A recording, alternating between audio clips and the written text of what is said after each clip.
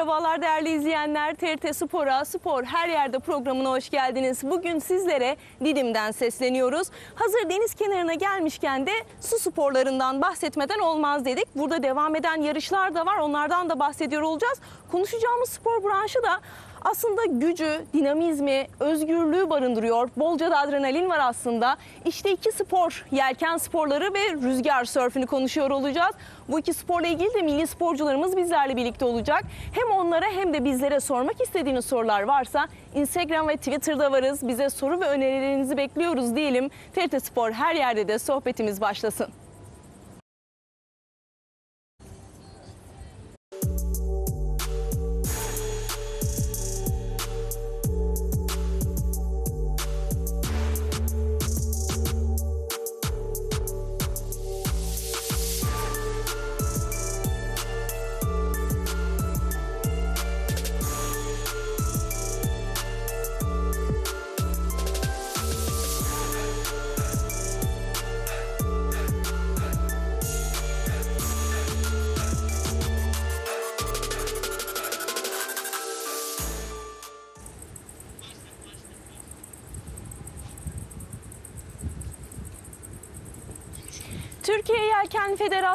Türkiye Şampiyonası'nın ikinci haftası devam ediyor. Yarışlar oldukça nefes kesecek boyutta. Denizin ortasında kıyasıya bir rekabet var. Kimler yarışıyor, yarış ne kadar sürecek, puan tablosu ne durumda hepsini öğreniyor olacağız. Öncelikle konuklarımı tanıtarak başlamak istiyorum. Türkiye Yelken Federasyonu Başkanı Özlem Akdurak, e, Didim Yat ve Yelken Kulübü Antrenörü Mehmet Türeli ve milli sporcularımız Dilara Uralp ile Onur Cavit Biriz bizimle birlikteler. E, hoş geldiniz. Yarışlar devam ediyor. Hava güzel. Deniz kenarındayız. Şehrimizin birçok e, ülkenin hatta birçok yerinde yağmur yağışı varken e, şanslı bir noktadayız belki de bu anlamda. E, su sporları denince nedense mevsim güzelken aklımıza geliyor ama aslında dört mevsim yapıyor yapmaya da devam ediyorsunuz.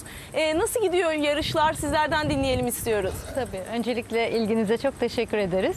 Evet ülkemizin dört bir yanı çok güzel. Şimdi de cennet köşelerimizden bir tanesinde Didim'deyiz. Ee, bizim sporumuz açısından teknik rüzgarımız çok önemli. Didim'de bu olanakları bize sağlayan güzel köşelerimizden bir tanesi. Ee, bu güzel beldemizde e, Didim e, Belediyesi'nin e, ve her zaman olduğu gibi Doğuş Grubu e, Didim D Marin e, Marina'nın destekleriyle çok güzel bir iki hafta geçiriyoruz. Didim Yat ve Yelken Kulübü ev sahipliği yapıyor. Ülkenin dört bir yanından yaklaşık 52 kulüp bütün illerinden iki hafta boyunca e, toplamda bine yakın sporcumuzla denizin üzerindeyiz. İlk haftamızı tamamladık, ödüllerimizi verdik. Optimist ve lazer sınıflarında yaptığımız yarışlarımız sona erdi. İkinci haftamızda ise ekipli teknelerimiz 420-470'lerimiz e, ve yine tekno, rüzgar sörfünde tekno ve olimpik olan RSX sınıflarımızda yarışlarımız devam ediyor. E, ortam çok güzel, çok güzel ağırlanıyoruz Didim'de. E, rüzgarımız da çok güzel, onun için çok keyifle yarışlarımızı sürdürüyoruz. Şu an ne zaman bitecek yarışlarımız ve e, puan tablosu ne durumda? E, Cumartesi günü bitecek. Puan tablosu için bir şey söylemek için çok erken. Daha yarışlar devam ediyor. E, son güne kadar bu heyecan sürüyor ve en son gün son yarışımızdan sonra ise e, puan tablomuzu açıklayıp ondan sonra ödül törenimize geçiyoruz. Mehmet Bey'e soralım. Güzel bir yerde izledik. Didim e, bu sporlar için oldukça da uygun bir yer gibi görülüyor. Siz nasıl görüyorsunuz? Tepkiler nasıl? Sporcuların beğeni durumu nasıl bölgeyle ilgili? Ee, öncelikle gerçekten e, bu yarışı buraya veren Türkiye Erken Federasyonu Başkanı Özlem Aktur'a çok teşekkür ediyoruz. E, ben Didim'de ilk işe başladığımda büyük bir mucizeydi burada yarış yapmamız. Yönetimin aldığı kararla e, biz de belediyenin desteği çok büyük yarışlara imza atacağımızı düşündük. Çok yükü, çok büyük bir yükün altına girdik ama e, umarım herkes buradan mutlu ayrılacak. İlk hafta hiçbir sıkıntımız olmadı. Bizim için önemli olan kazasız belasız en güzel şekilde bu yarışı bitirebilmekti. Çok şükür bunu da e, başaracağız gibi görünüyor. Didim e, gerçekten kıyısı upuzun bir kıyı olmasına rağmen maalesef yelkene uzağız bu konuda. Biz de yelkeni tanıtmak için, yelkeni Didim'e getirebilmek için çok uğraştık. Çok da güzel yarışlar yapıyoruz. Umarım her şey daha da güzel olacak. Çocukların aslında e, bakışları oldukça iyiydi. Biraz sohbet etme şansımız oldu. Ekranları da getireceğiz. Dün burada e, yarışları da takip ettik değerli izleyenler. Onları daha sonra getireceğiz ama öncesinde bir sormak istiyorum. E, bu çocuklar sadece Didim'den değil pek çok yerden de geldi. Genç yaş grubundan bahsediyorum özellikle. Bu mesleğe başlama açısından bunlar e, aileleriyle daha çok başlamışlar ve öğrenmişler. Şu anda da çok başarılı bir şekilde bu sporu yapıyorlar. E, bölge olarak talepleri ne yönde oluyor genelde? Ee, bu yarış bu yarıştan sonra inanılmaz bir geri dönüş aldık. Yani Didim'de e, yelkenin sporunun gelişeceği çok büyük bir açık ortada olacak. E, bu sezon da Haziran'da başlıyoruz biz yaz eğitimlerine. Çok bir geri dönüş var bize. E, umarım yani biz de aileleri bu işin içine sokarız. Öncelik aileler. Aile getirmezse çocuk da gelmiyor maalesef. Umarım her şey güzel olacak. Evet değerli izleyenler az evvel de bahsettiğim gibi dün burada yarışları da bir yakından takip edelim istedik. Birkaç röportajımız da oldu. Hemen e, o konuyla ilgili hazırladığımız videomuz ekranlara geliyor.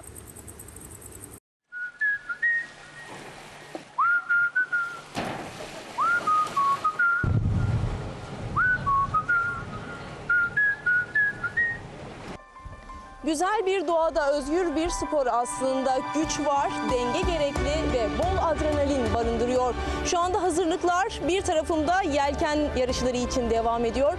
Diğer tarafında da rüzgar sörfü için son hazırlıklar var. Hadi bakalım hazırlık süresince önce neler gerekiyor? Hangi hazırlıkları yapıyorsunuz? Şu an e, balon iskotumuzu değiştiriyoruz. Dün koptu denizde. İşte yenisini takıyoruz şu an denizde kopmasın diye.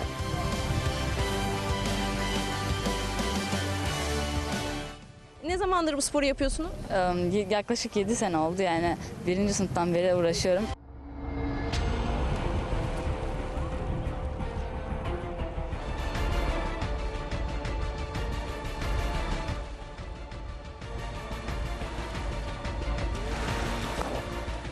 Doğa sporu olduğu için bütün değişikliklere adapte olmak lazım. Ee, en zor kısmı bence uyum göstermek.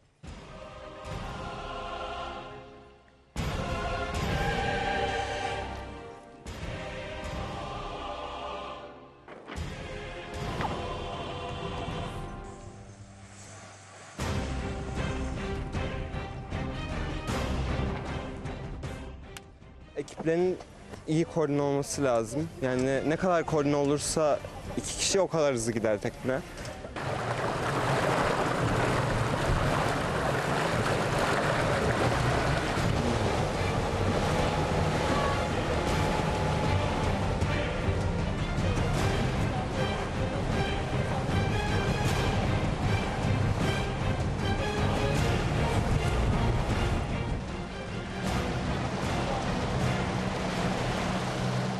Kaan Parlas ben. Ee, Yaklaşık 10 senedir yelken sporuyla uğraşıyorum. Ee, Ekibim Rasim'le beri 2 yıldan beri 4-20 sınıfındayız.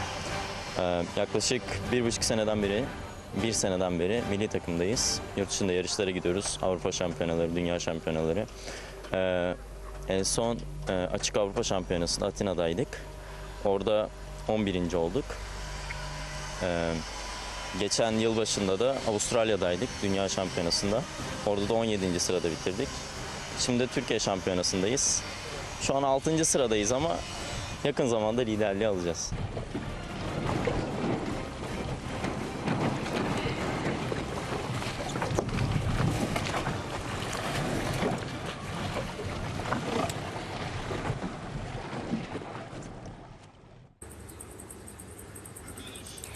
Değerli izleyenler evet izlediniz. Ee, güzel görüntüler ekrana getirdik. Onları da paylaşacağız ama hemen elimize ulaşan bir son dakika bilgisini de sizlerle paylaşım, paylaşalım istiyoruz. 2020 yılında gerçekleşecek Şampiyonlar Ligi finali de e, nerede oynanacağı artık belli oldu. İstanbul'da olacak ve Atatürk Olimpiyat Stadında gerçekleşecek. E, bu bizim için oldukça önemli bir başlıktı. Gurur verici beklediğimiz bir aşamaydı aslında. Bu süre içerisinde de oldukça bu konuyla ilgili çalışmalar devam ediyordu.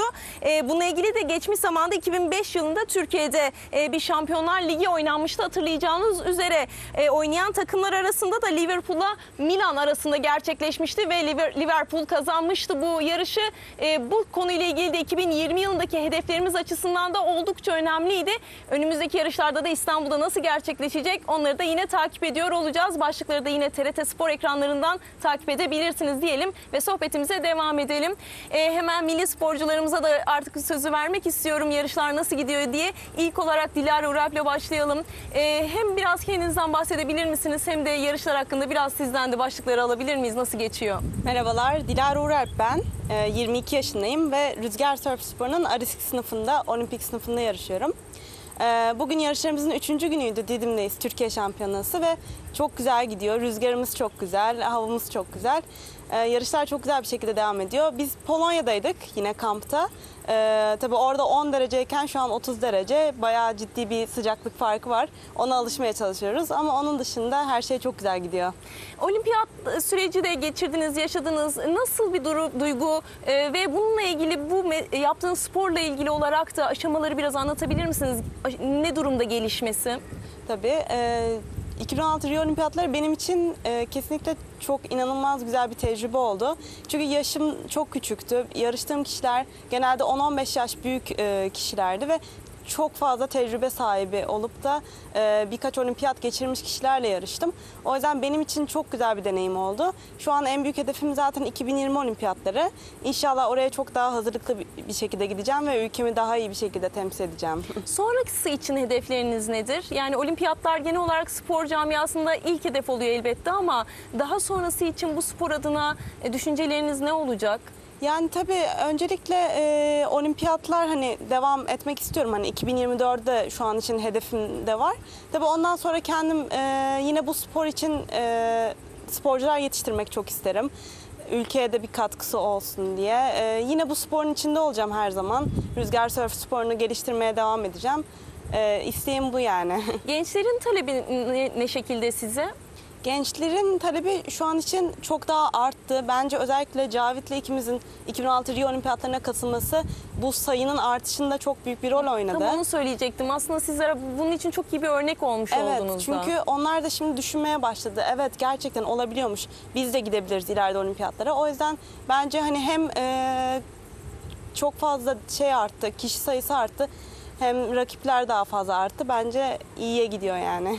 E, ikinizin şu anki diyalog nasıl e, gelecek planları açısından konuşuyor musunuz? Hani bu iş için daha ne yapmalıyız diye. Çünkü bir- artık aile gibi oluyorsunuz. Bütün Evet. programlarda berabersiniz. Sürekli beraberiz zaten. Hani yarışlarda da hep e, birbirimize destek oluyoruz. Şu an için ikimizin en büyük hedefi 2020 Tokyo Olimpiyatları. İnşallah beraber başaracağız bunu da. Çok güzel. Hemen e, Onur'a da sözü verelim. Senin için nasıl geçiyor yarışlar ve biraz da sen kendinden bahsedebilir Tabii misin? ben Onur Cavit Biriz, 19 yaşındayım. Ee, Dilara gibi RSX olimpik sınıfta yarışıyorum. Ancak farklı olarak bizim erkeklerde malzememiz biraz daha farklı oluyor. Ee, şu anda Didim'de Türkiye şampiyonasındayız. 3 gündür yarışıyoruz, 9 yarış yaptık. Ee, şansına yaver gitti, rüzgar da çok güzel. 9 yarışta birinci bitirdim. 2 gün kaldı yarışın bitmesine. Ee, buradan hemen önce Dilara'nın da bahsettiği gibi e, Polonya'da kampta ve yarıştaydık. Ve e, Polonya'dan direkt yola çıktık. Ertesi gün Didim'de yani gece 2'de varıp e, Didim'e sabah uyanıp direkt yarışmaya başladık. O yüzden bayağı yoğun, yorucu bir e, yarış ve kamp programımız var. E, TFF'nin de destekleri sağ olsun e, devamlı olarak e, bizi yoğun bir programa sokuyorlar. E, başımıza çok iyi antrenörler getiriyorlar. Ve hani yüksek bütçeli oluyor genel olarak bunlar. E, antrenör olsun, yarış kamp programı olsun. Ee, olabildiğince yurt dışına bizi göndermeye çalışıyorlar. Çünkü Türkiye'de e, Dilara'nın da bahsettiği gibi eskiden e, çok fazla sporcu yoktu. Şu an yeni yeni başlayanlar var. O yüzden seviyeleri bize çok yakın değil. Ve bizim de kendimizi geliştirmemiz için e, seviyeleri bizden iyi veya bizimle aynı olan insanlarla antrenman yapmamız gerekiyor. Bu yüzden federasyon e, bizi e, yurt dışındaki kamplara, diğer sporcularla birlikte antrenman yapmaya e, teşvik eden bir program hazırlıyor. Sana talepler nasıl oluyor? Yani sizleri örnek gördükleri için soruyorum. Gençlerle dün konuştuğumuz için onlar da bir çaba halindeler. Çok zorlu bir iş aslında. Güç gerektiren bir iş. Ee, Evet. Çok küçük yaşta başlaması zor gibi gözüküyor ama sizlerin de yaşa e, bakacak olduğumuzda aslında bu iş için küçük başladığınız yaşlar. Evet. Ee, ben de 10 yaşındayken başlamıştım spora. Ee, amatör olarak Alaçatı'da başlamıştım hobi olarak. Sonrasında çok keyif aldığım için İstanbul'da devam ettirmek istedim. Ee, bence çok ufak yaşlarda başlanabilir yelkene ama benim önerim genel olarak e, rüzgar sörfü yapacak insanlara optimist de daha küçük e, yaşta başlanabilecek e, yelken sınıflarına başlayıp kendilerini rüzgar e, konusunda, dalga, deniz konusunda bilgilendirip sonrasında e, sörfe geçme konusunda benim tavsiyem. Genel olarak evet e, insanların talepleri, benden beklentileri, insanlar bana saygı duyup ufak çocuklar gelip e, bunu nasıl yapmalıyım, yelkeni nasıl ayarlamalıyım, e, bunuma yardımcı olabilir misin, bunu nasıl yapmalıyım gibisinden e, sorular soruyorlar. Ben de tabii ki e, camiaya yardımcı olmak için bütün soruları cevaplıyorum. Yardımcı olmaya çalışıyorum herkese. Çok güzel. Özlem Hanım Didim'de izledik ama e, başka nerelerde devam ediyor yarışlar? E, Nasıl gidiyor? Önümüzdeki süreç için neler bekliyor federasyonu? Evet. Yelken sporu çatısı altında birçok disiplini barındıran bir spor.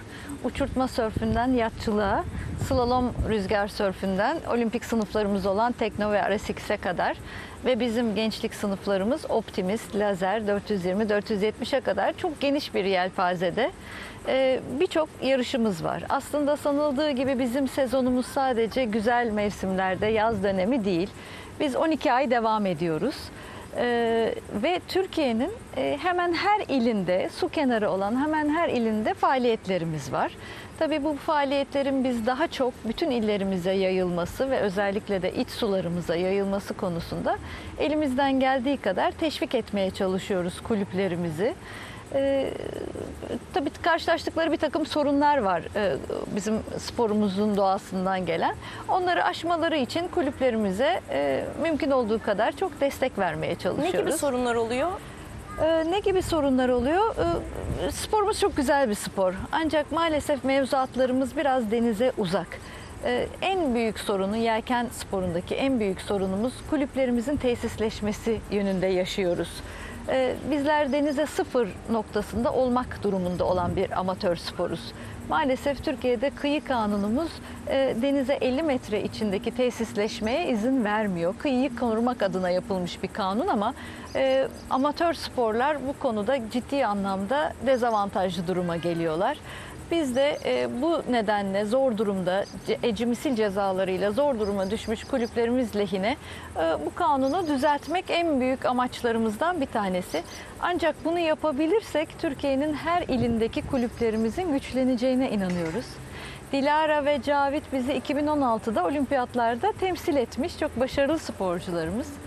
Ama e, onlar gibi her ilden, sadece batı illerinden değil, her illerin, her ilimizden sporcu yetiştirmesini sağlayabilmek için kulüplerimizin güçlü bir yapıya kavuşmasını sağlamak istiyoruz. Bugün e, bu bahsettiğim kıyı kanunu konusunda dertli olmayan hemen hiçbir kulübümüz yok. Buna büyük illerimizde dahil İstanbul, İzmir, Ma- Muğla. E, en kısa zamanda bunu çözmek en büyük dileğimiz. Federasyon olarak hedefiniz nedir? E, olimpiyatlar var önümüzde. E, sporcular bu konuda hangi alanlarda yarışacak? E, sayı artıyor mu bu konuda e, Evet. yarışmaya katılmak isteyen? Şimdi bir yandan bütün Türkiye genelinde e, gençlik sınıflarımızdaki denize inen yelkenci ve denizci sayımızı arttırmaya çalışırken diğer yandan da bu işin sporun zirvesi olan olimpiyatlarda ülkemizin bayrağını dalgalandırmak e, en büyük e, hayalimiz. E, Yelken sporunun maalesef geçmişinde bir henüz olimpik madalyamız yok.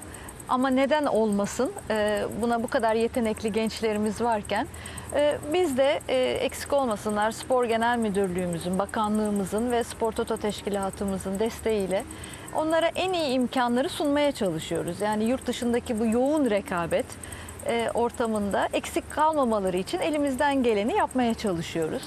Şu an e, ilk defa e, madalya ümidi taşıdığımız sınıflarımız var. Bu bizim için çok büyük bir gelişme ve bizi çok daha büyük sorumlulukla bu işi dört elle sarılmaya itiyor. En az iki disiplinde ilk onda sporcularımız var. E, bizim sporumuz çok lineer bir spor değil. E, onun için bazen şans faktörü de işin içinde oluyor. Ne kadar sporcumuz iyi olursa olsun. Bazen malzemenin azizliği olabiliyor. Bazen rüzgarımızın değil mi çocuklar? E, onun için her şey yolunda giderse Ee, ilk kota yarışımız e, bu yıl Aarhus'ta yani Danimarka'nın Aarhus kentinde Ağustos ayında. Ee, oradan eğer olimpiyatlara pasaportumuz diyoruz biz ilk kotamızı alabilirsek e, çok daha bilinçli adımlarla e, 2020'ye doğru daha rafine bir çalışmayla gidiyor olacağız inşallah.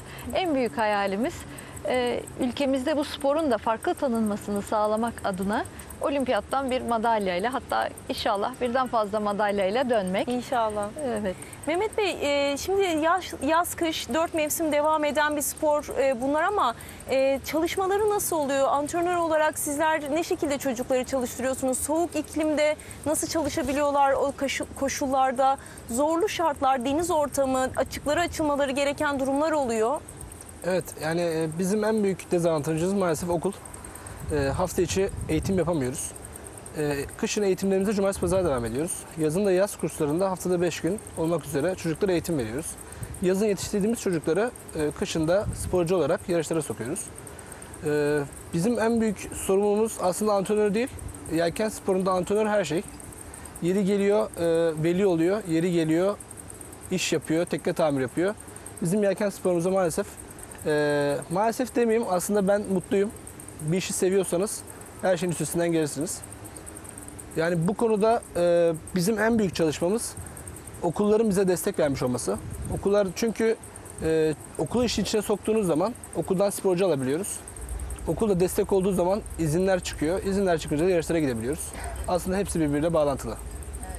Peki bu çalışmaları nasıl yapıyorsunuz sonuç olarak? Çocuk, küçük yaşta öncelik ne oluyor? E, çocukları seçerken hangi özelliklerine bakıyorsunuz e, branşlaşırken özellikle? Bizde şöyle e, hani benim tabirim aslında emekleme sınıfı dediğim e, optimist sınıfı. 7-8 yaşında çocuklar artık eğitim alıyoruz. Ve burada e, yaz kurslarında çocuk zaten kendi yeteneğini ortaya koyuyor. Bu Çok özür dilerim. sayesinde Özellikle şu an için başvurmak isteyen çocuklar olursa diye en azından anlatmış olalım. Ne şekilde size başvurabiliyorlar e, ve çalışma disiplini nasıl oluyor yazın? e, şöyle bizim sosyal medya hesaplarımızda ve internet sitemizde e, başvuru formlarımız var. 18 Haziran Pazartesi günü e, ilk yaz dönemimiz başlıyor. E, iki hafta sürüyor optimist eğitimlerimiz. Yani 10 gün sürüyor. Bu 10 gün süre içerisinde çocuğun yetişkin olup olmaması hiç önemli değil bizim için. 8 yaşından aşağıda olmasın. Bu durumdan sonra e, biz çocuklara artık tamamen yelkenciliği öğretiyoruz ilk hafta. Yelken eğitimlerini veriyoruz.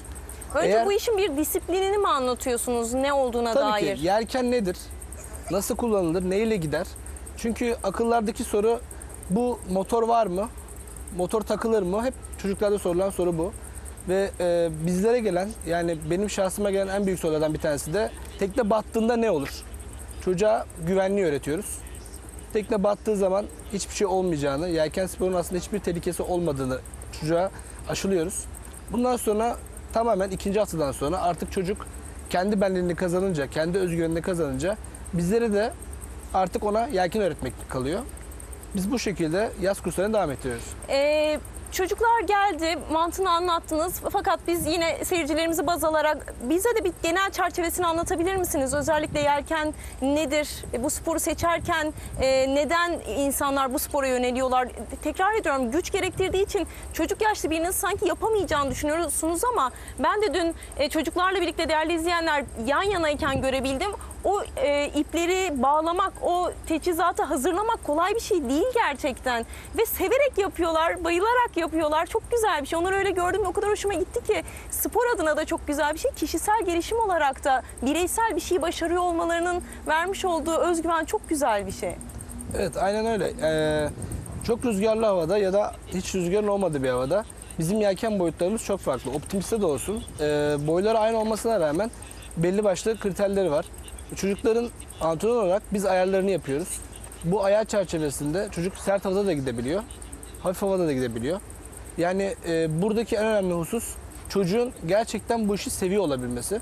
Sevdiği zaman elleri parçalana kadar denizin üstünde kalabiliyor bir çocuk. Evet.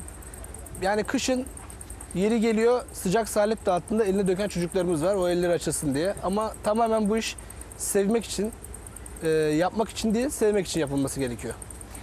Ee, hemen tekrar Dilara'ya sözü vermek istiyorum. Ee, dünyada da pek çok ülkeden dostluklarınız da olmuştur muhakkak bu işle ilgili. Geliyorlar, sizler gidiyorsunuz. Nasıl geçiyor? Ee, hem orada e, bu spor nasıl e, durumda? Türkiye'nin durumu nasıl senin gözünde? Evet, e, tabii ki de yıllardır gidip geliyoruz yurt dışına, kamplara, yarışlara. E, yani oradaki seviye tabii ki de şu an Türkiye'den çok daha üstün e, durumda. O yüzden biz de sürekli kampları için e, yurt dışına gidip oradaki sporcularla antrenman yapma fırsatı yakalıyoruz. E, orada tabii ki de m, dediğim gibi temin 30-35 yaşlarındaki bayan sporcular hala yarışırken bayan ve erkek tabii ki de. Ee, Bizim burada e, şu anda en büyük mesela ben 22 yaşındayım. Türkiye'de en büyük olimpik sınıf yapan benim. O yüzden tabii ki de benim önümde e, görebileceğim, beni geliştirebilecek biri yoktu. E, O yüzden ben tabii kendi kendimi geliştirmem gerekti. Yelken Federasyonu sayesinde bolca kamplara giderek, yarışlara giderek kendi kendimi geliştirme e, şansı Tam yakaladım. bu anlattığın cümleyle ilgili bir e, soru sormuşlar. E, Yelken sporu için kaç yaşında başarıya ulaşabilirim diye.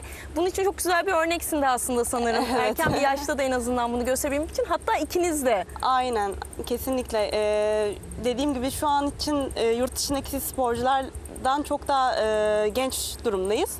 Yani seviye olarak da onlara tabii yetişmeye çalışıyoruz. Ama e, hiçbir şey imkansız değil. Biz elimizden geleni yapıyoruz. Federasyonumuz e, bizi destekliyor.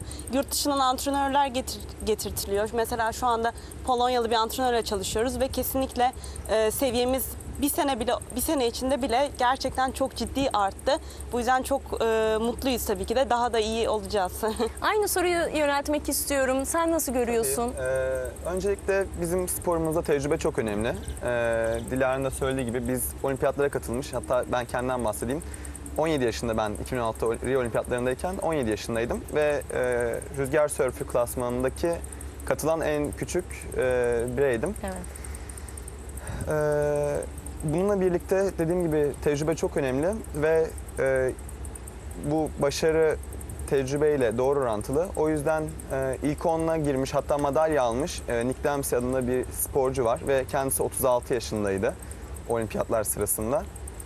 E, o yüzden ilk başlarda benim hedefimde e, Rio 2016 olimpiyatları yoktu çünkü çok zor gözüküyordu. Hani yaşım küçüktü, tecrübesizdim, e, gelişmekte olan bir sporcuydum.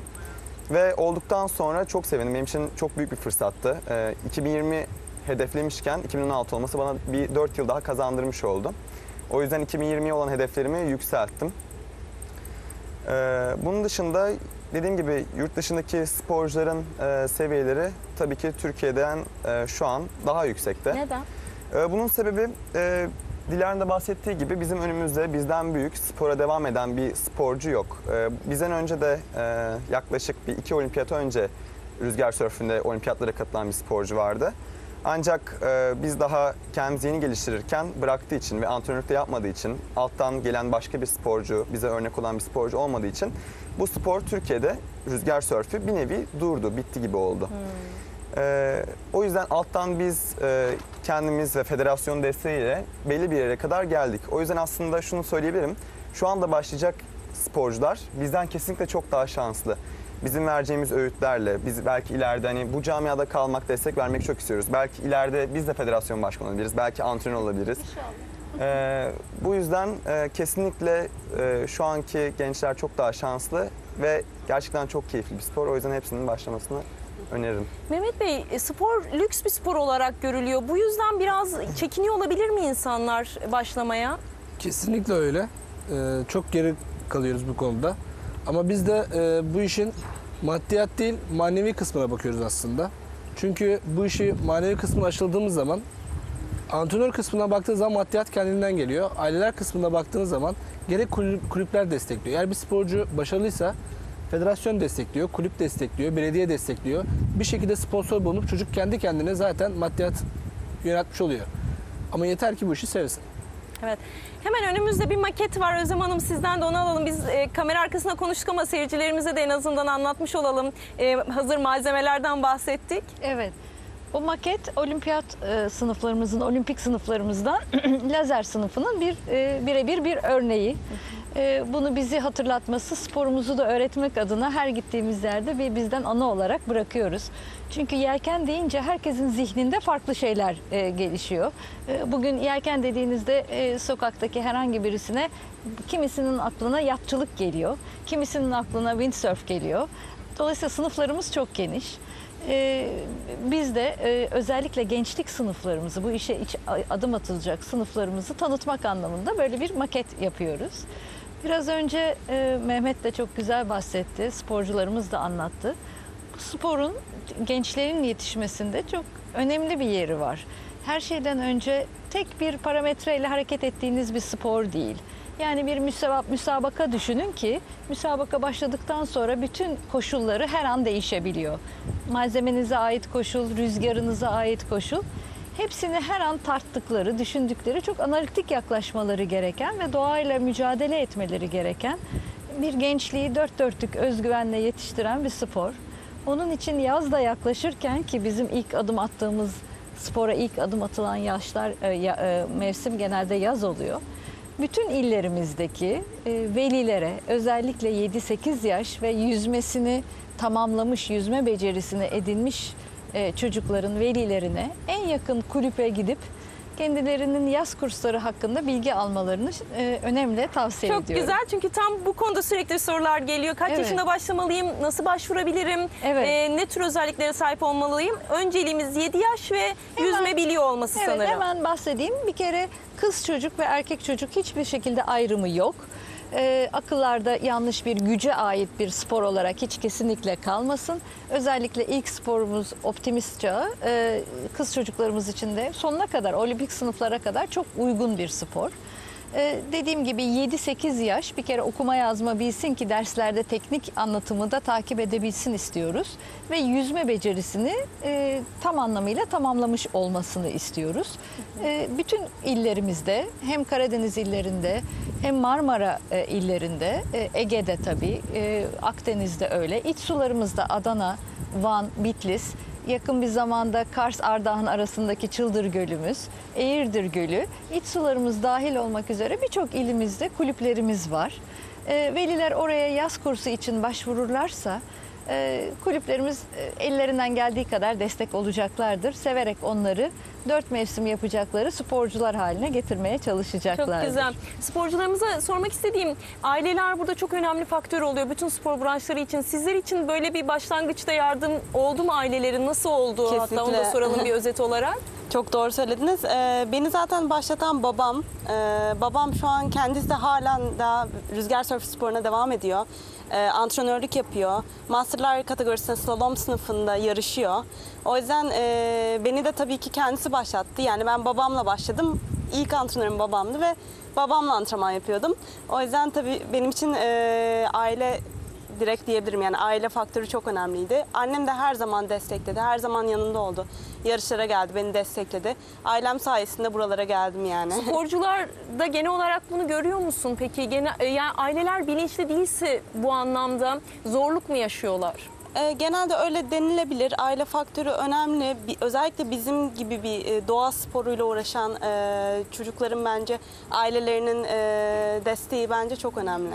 Buradan bir son çağrıda da bulunmak ister misiniz? Yaptığınız sporla ilgili en azından başvurmak isteyenler olursa. Ee, doğayı seven, denizi seven, e, özgürlükçü, e, havayı seven e, kişilere e, kesinlikle öneriyorum. Gerçekten çok güzel, çok keyifli bir spor. Adrenalinli bir spor. O yüzden e, herkese öneririm yani. Senin de başlangıç hikayeni alabilir miyim? Evet, Ailenin katkısı bu anlamda ne boyutta Ee, oldu? Biz Alaçatı'dayken, araba turundayken e, bir dağdan geçerken bir koyda e, ben rüzgar sörf yapan insanlar gördüm. Ve gördüğümde gerçekten çok hoşuma gitti. Çok hızlı ve yüzlerce sörf yapan insan vardı. Ve anneme hemen bunun ne olduğunu sordum ve ben de yapmak istediğimi söyledim.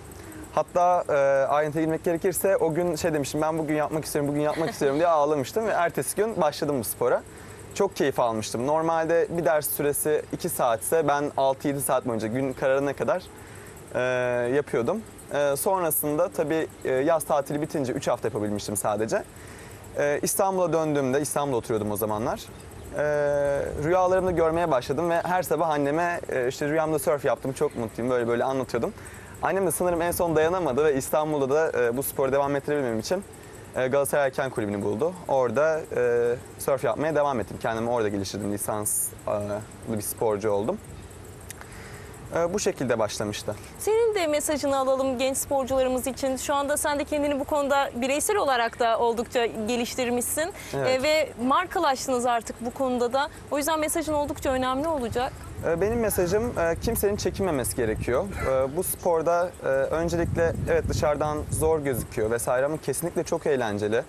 E, en- İnsanların en çok çekincesi özellikle ailelerin demek istiyorum. E, Okulla beraber nasıl olabilir? Çünkü gerçekten çok fazla zaman alıyor.